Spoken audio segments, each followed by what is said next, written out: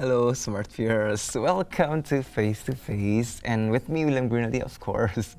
And as usual, in every episode, I'm going to discuss about various topics. You know, it involves human interest. You know, various topics that you know it's quite interesting and pleasurable to watch. And for this episode, I'm going to discuss about you know, kind of like this you know self improvement basic thing that maybe a person needs to have, and it's uh, it's about uh, how to become an you know an interesting and develop your self confidence. Yeah. So for this segment, I'm gonna discuss about um, several tips on how to you know kind of like increase your uh, self confidence and also to find your in, in kind of like interesting stuff about you that uh, you can explore. And for the first tips is that you you have to push through self-limiting beliefs. Yeah.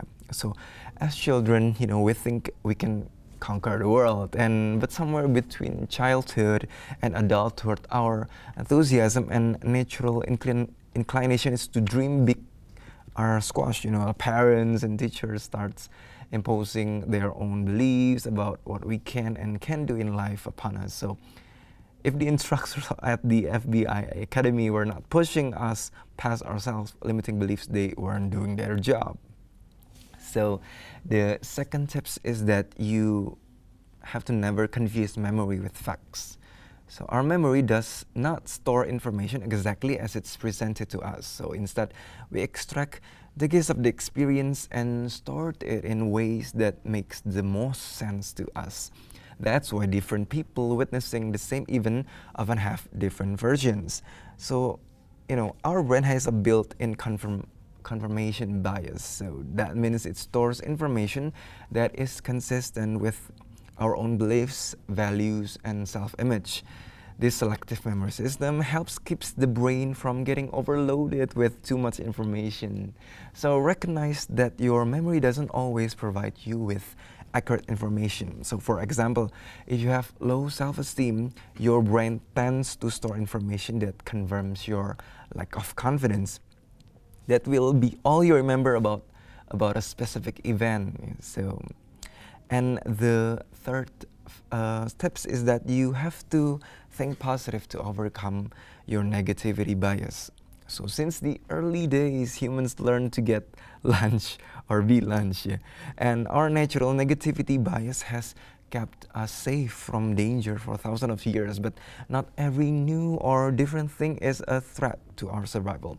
This negativity bias can chisel away at our confidence because we are hardwired to pay attention to all that we've been we've done wrong. So, for example, and FBI, FBI agents are thought to hunt the good stuff. It can be hard at times because positive information, you know, like Teflon is, is like Teflon easily falls away. So, but negative information, you know, sticks. So, you, you have to think positive to overcome your negativity bias. And for the fourth tip is that you have to overcome self-doubt. Yeah. So if you lack self-confidence, you all you will always feel like you're at the mercy of other people. So when you assume a victim mentality, you are no longer resilient to life's inevitable obstacle sand roadblocks. Yeah. So uh, you know, for example, you know, FBI agents to go where they are needed, not to where they feel most comfortable. So it's it's like you know if you're in a sign of investigations, you have no idea how to solve. You know, yeah, um, you have to think. You know, like drop in the middle of any any situation, anywhere, anytime, and you you will not be scared because you are confident that you will succeed wherever you are. So that's the four tips. Yeah, that's the four tips that I can give you. You know how to become interesting and how you can uh, develop your self-confidence. So for the next segment, I'm gonna invite uh, my guest, my special guest for today's episode, which is related to our topic that we discussed. It's related to her professional. So yes, so don't go anywhere. Stay tuned on Face to Face.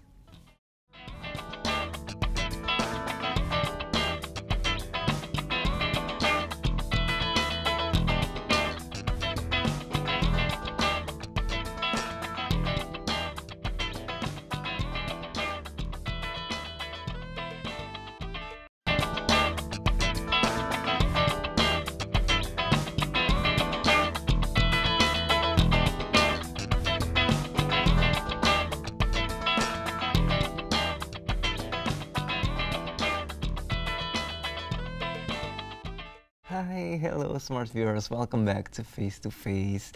With me still, William Gurnaldi. And um, as I promised on the previous segment, I'm going to invite my guest for today, which is related to our uh, previous segment that we discussed about how to overcome your self-doubt and how to, you know, improve and maybe find your self-confidence. So, without ado, further ado, I'm going to invite you, my guest for today.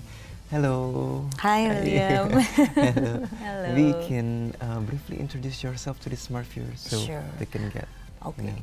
Uh, hello, smart viewers. My name is Nissa Muluk. I'm a professional uh, radio announcer currently on Hard Rock FM, also a professional MC, master of ceremony, and voiceover talent. Thank you.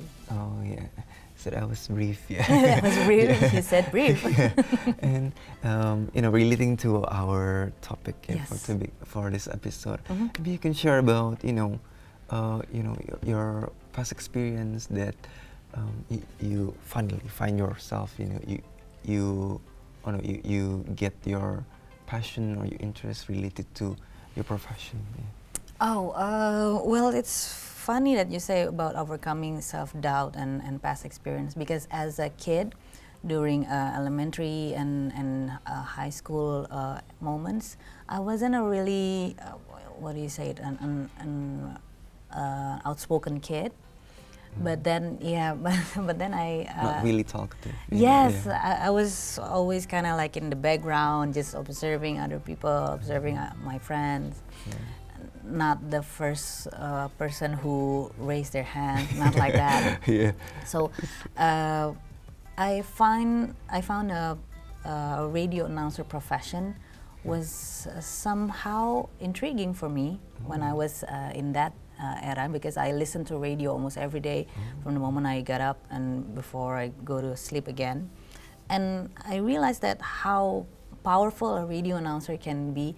They can influence their uh, listeners and and and you can really like remember what what the radio announcer said and and and imply it to your to your daily life that's when i determined that i wanted to be a radio announcer Oh, yeah. So like, uh, how how come you know like from your pre Uh-huh. your yourself you know you're you're not really confident of you know Yes. raising your hand. yes in- yes yes in- and then become the a middle of the person like this How you, you know like finding maybe you, you there are a specific moment or just you know ga- gaining your confidence over time. you know? Yes, I think that's that's more like it. I, I, I gain my confidence over time uh, because uh, what I what I really uh, experience is that when you overcome and you learn about your weaknesses, you learn about your strength, and you try to overcome your weaknesses. You try to get out of your comfort zone and conquer your weaknesses. That's when you gain more strength, right?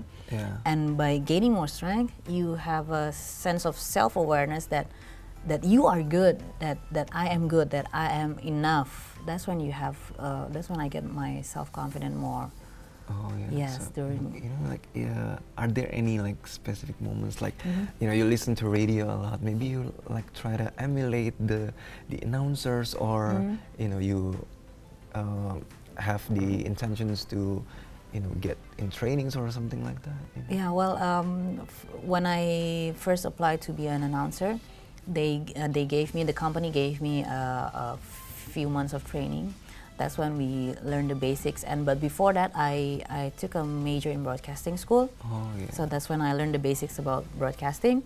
And then um, during my first, how do you say it, uh, first experience in a radio, in a real radio Yeah, industry, yeah, that's when that's when you really learn about uh, the the work life, the the, the real like seniorities, yes, and the harsh life of, of working life. And uh, that's when you learn how to be more self-confident.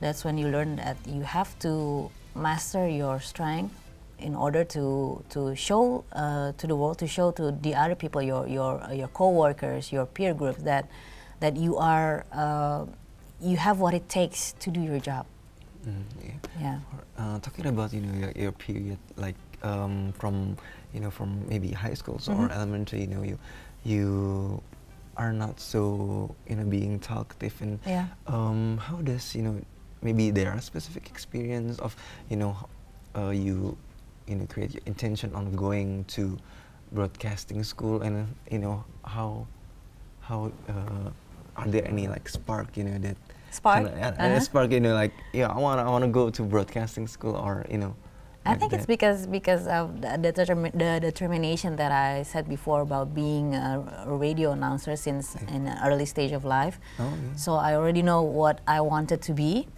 and I took the broadcasting school. So it's more like knowing what you want from the early stage of life. So you know where you have to go. You know what you have to uh, uh, like where where school uh, that you have to go, which major that you want to take.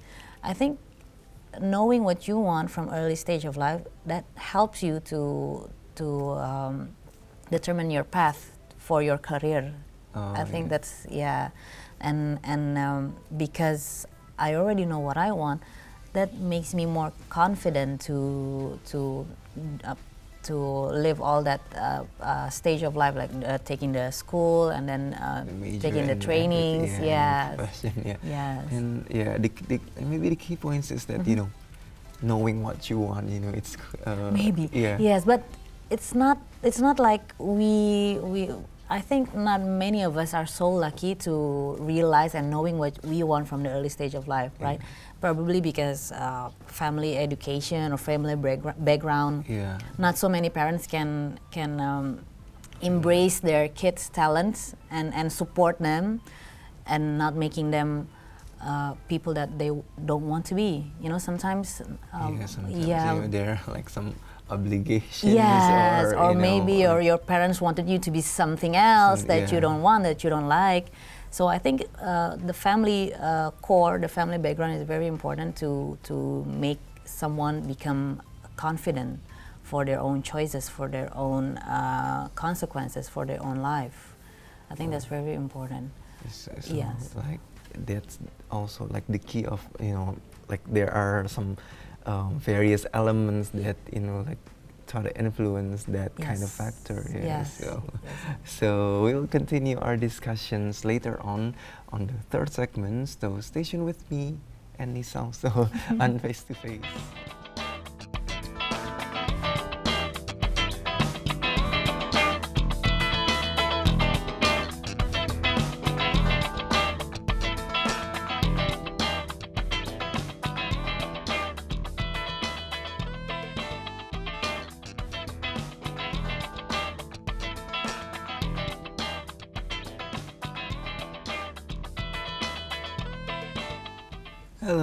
Smart viewers. Welcome back to Face to Face, and we will continue our discussions about you know how to improve your self confidence, or even find one, and uh, how to you know find your inner strength. Also, yeah. So um, back to our discussions, you know Yes. about you know how to improve uh, your self confidence. You know, you can maybe you can like elaborate um, some kind of experiences in relating to your profession that boost your self confidence. Well, um, in a professional uh, mode, it, it's when, for me, it's it's it's the small things like when when my boss uh, trusted me to handle like a prime time session, or giving me more workload that uh, they don't give to other employees. That's when I I I took it as a as a boost for my self confidence, because that means that I am capable. I'm good enough uh, for doing more than uh, and for for gaining more responsible for my work. I think that's that's a s the small, yeah, the small steps. I don't need like uh, like an employee of the year or I don't I don't need something like that. It's just the small need step. like um, specific recognition. Yes, like yes, yes, yes, yeah. The small reward in life when you know, like a pat in the back from your boss, like "good job," something like that makes me happy already. Um, talking about you know like maybe uh, there are like some borders between you know not confident and confident and maybe overconfident. you Oh know, yes, like- yes, yes, yeah, it's a good thing. Yeah, s- um, s- too much of a good thing or too much of something is, is never uh, good, right? Yeah. So yeah, you have to uh, stay balanced in a way not to be more uh, overconfident. Is is to for me is to stay humble. Yeah. Is to stay humble and and to uh, recognize and realize that there's always people who is more than us. Mm. That we're not the most uh, superior of, of all. So, yeah, knowing that there's always uh, someone better than us, and also knowing that there's there's always someone that is less lucky than us, Mm, or maybe not so, So fortunate. enough. yeah so fortunate or or uh, uh, uh, fortunate as in the opportunity or maybe their brain capac- capacity the, the, yeah it's not equal right Yeah. everyone is not equal so you have to acknowledge that and and and level yourself with others Oh, okay. I think stay grounded. stay Yeah. grounded, Yeah. yes. And we have some, you know, photos of your activities. Okay. Yeah. Really? Okay. yeah, maybe take a look. sure Yeah, we can Oh, yes. share about this photo. yeah this is uh, me uh, doing my radio show at Hard Rock FM and what kind of show, you know? That's a regular show. Uh, Yeah. Usually it's uh, from 1 until 4 p.m. every Tuesday and Thursday. Uh, alone, like Alone. alone. Yes. so you talk by yourself. Yes, me and the mic only. and we have to. Many many people uh, make this the the wrong impression that when we do our, our radio show, uh, we have producer who who already uh, prepared a script for us. That that is so wrong. We have to search for our own content and make our own scripts and and yeah, do everything This by ourselves. self self-made, self-produced also. Yes, you had there. that's and right. also you have to improvise, you know, because. Exactly. yeah. And next photo, maybe you can share. Which one is that? Yeah. Oh, this is this is interesting. Yeah, I, I was uh, in a uh, I was in a uh, project with some friends. Yeah. Uh, they made uh, a poetry book. Oh yeah. Yeah, and then when they wanted to launch it, we make uh, we make the book launch uh, very interesting because uh, it's an audio book. Oh, it's an audio. Yes, so so they, uh, we have uh, we have the book, and also we uh, have some voice casts who who contribute to the process of Yes, to the that audiobook. Yes, yes, yes. And we have the if you buy the book, we have a CD that you can listen to the book. We can and, and there's also a music. There's a very amazing music background um, of, that comes along with the stories and, and comes along with the books. And this photo is uh, one of our showcase uh, in front of uh, I think the Readers Festival, Indonesia's Oh. Readers Readers Festival. Yeah, and uh, they wanted us to showcase and and and and uh, demo the the audiobook audio. live. Oh, live, yeah. Yes, yes. And you're you're one of them. You, Yes, I am one of the voice cast. yes, it's a very uh, interesting uh, experience because it's different than radio show and and emceeing. You have to like really uh, get into the characters, get in the mood of the of the of story. the story Yes. also, and maybe you can share about. All Yeah. this Restu Sinaga. This is one of uh, the the most fun talk show that I've had uh, in Hard Rock FM. Yeah. Uh, because uh, do, do you know Restu Sinaga? I know You've heard about him? Yes, he's an he's a one of the senior actor here in Indonesia, and um, it was very fun because he was hilarious and we, j- we joke around fun and we talked about. It's a, it's like a like a naughty session that we have. Yes, because Yeah, it's because a, it's midnight. Midnight, Yeah, that's it's right. midnight, yeah. so more casual, you know. like- Yes, more casual and relax, and talk about uh, his upcoming movie, and we played some games. Yeah, so it was very fun. Yeah. So how does you know like you know uh, being from the start from being just a radio announcer and Mhm. involves into like speaking in front of public and how you you know like, how is it differ and how you Okay. can find you know because it's quite different you know Yes. being in front of the mic and then you know speaking in front of public yes, you know yes, yes, yes. I get it. So what uh, I started doing radio announcer from 2006, and on 2008, a friend of mine trusted me to uh, be to, to be an MC uh, in one of uh, his events. By that time, I had none experience of being an MC. zero Mm, experience zero experience and and I just said yes okay just bring it on you know like very excited of new opportunities And then when I started the uh, this the event, I realized that I had zero experience. I had never learned how to be an MC. Is I thought it was something s- more similar than doing radio uh, announcing, but it turns out very different, very very different because you have a real audience that uh, that that that is looking at you, staring at You you, have to get your their yes, attention. their attention and make them stay. Uh, as boring as the event can be, but you have to make the, their attention stay and focus on you, and and yeah, it, it's uh, very very different. That's the uh, one of the factor that that difference it, uh, but also has uh, um, different challenge and different uh, how do I say it? different fun, because uh, yeah, different kind of fun. That's right. Uh, because sometimes during live events like that, things can can go wrong, and there's uh, that's when the MC part really takes an, an important role. As in, for example, when you if, if there's a launching for something for a product, I, I this happened to me once. Yeah. Okay, here you go. And this is the new uh, product. Ta-da! There's no sound. the the sound was off. Sound yeah, it's supposed to be like a, a like a fanfare, like a yeah, grande music, and the sound is off. And I was like, okay, blah, blah, blah, blah, blah, blah. You like, I just have to improvise very quickly and, and, and fill up the, the, the dead air, so dead air moment. So yeah, that was fun. so that's quite yeah, Yeah. that's quite an experience yeah Yes. so mm, maybe there are you know some tips and uh, for yeah, personal tips from you that they Mhm. can inspire uh, our smart viewers you know how to you know, even find self-confidence in knowing what sh- what they want you know Yes, that's very good. Uh, I think our own worst enemy is ourselves. We are our own worst enemy.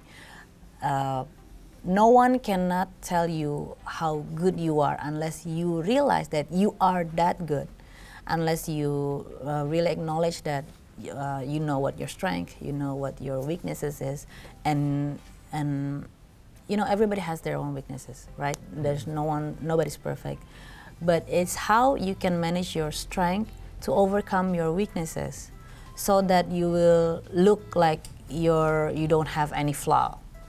okay Yeah. yeah. It's about perceptions. yeah. and you can only also compete with yourself Yes, Yeah, that's yeah. right. So if, if somebody tells you that, oh no, you you, you did a, a poor job or something, that uh, the one who can bring you down is your own self. Okay so as long as you acknowledge that uh, you already gave it your best, you tried your best, and to remember that uh, knowing when to uh, accept criticism and to uh, introspect yourself. Oh, Okay, so thank you so much, Nissa, for coming. Thank you so much. William, for having me. Thank you, and um, you know maybe your inspiration can inspire others also. Yeah. Hopefully, So, yeah. hopefully, hopefully. Yeah.